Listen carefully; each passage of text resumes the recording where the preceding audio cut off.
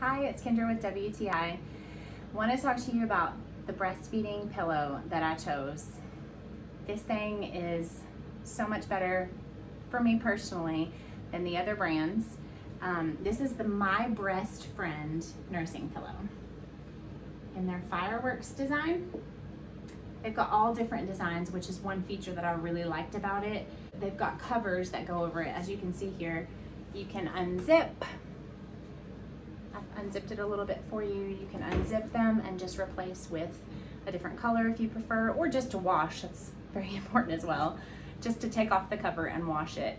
Um, this one, the reason I chose to go with this uh, over the other brands is one reason. The feature that it goes around your back and it clips. And you can tighten it to fit you, right? So you'll find that this is really important because when you're nursing a baby, they're moving around, you're trying to get comfortable. It's like a whole thing, but this will stay put. that's so important when you're feeding them to have something that's gonna really stay put.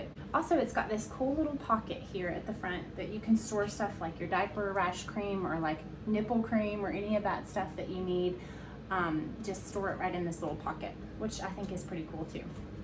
So this thing is my go-to. I loved it and I know that your family will too. And that's my point of view.